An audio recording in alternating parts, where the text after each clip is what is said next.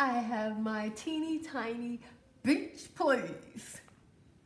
So for a haul for you today, and I'm really excited about it. I went, I took a look at the whole collection. My videos on that collection are coming out. Uh, I expressed variety of opinions, but I told you I was gonna go look and see if there was something for me, and yes, there was something for me, and I'm very excited about it. I got the eye products.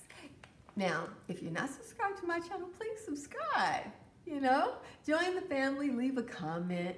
You know, thank you, thank you, thank you. And um, I got the eye products. That's what I got.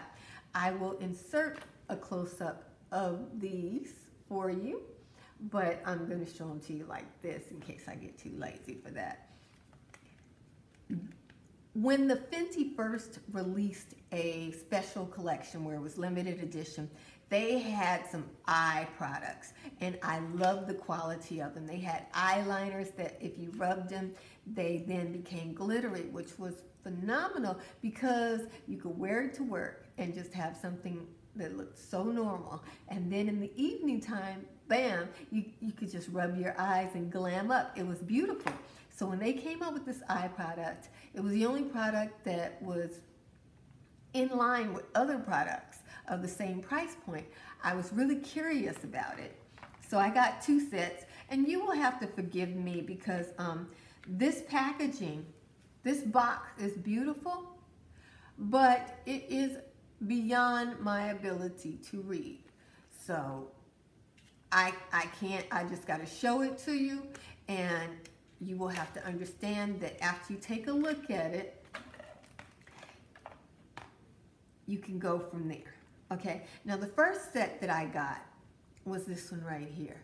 This is the one that has a peach color and it also has this iridescent color. This color has fuchsia in it, but the main flash, I have it on my um, mirror light, it flashes green on my skin tone, so unique.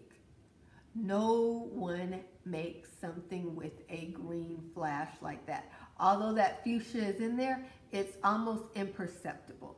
But this green, if you are a dark chocolate person like myself, or if you are using self-tanner or bronzers for the summertime to get some more color, ah, oh, do you, can you imagine that? I'm not going to swatch this right here because I have it swatched right there. You see how that green and the emerald is bouncing up?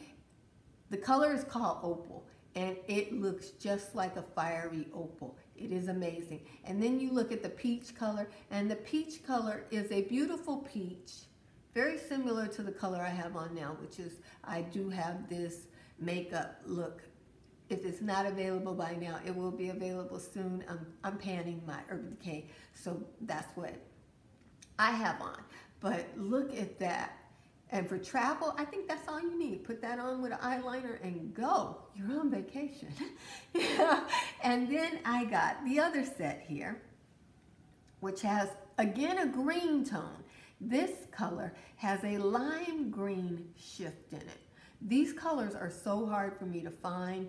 They do look beautiful on summer skin, summer tan. They look great with the clothing that you wear in the summertime. These kind of colors look really good with white clothes and this color here. This was the color that I missed in the eyeliner that came out. Remember that eyeliner, that the glitter? I missed it and I'm just waiting for that eyeliner to show up again because I still want it and you know, I expect, I expect Riri not to have me wanting like that, you know?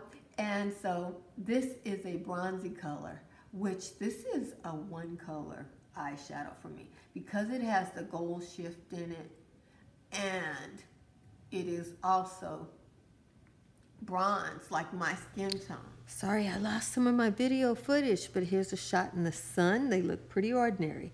But then, in a little shade, the duochrome really pops. Well, thank you for watching this video to the very end. Jesus loves you. And I love you with all the Jesus in me. Be blessed, beautiful.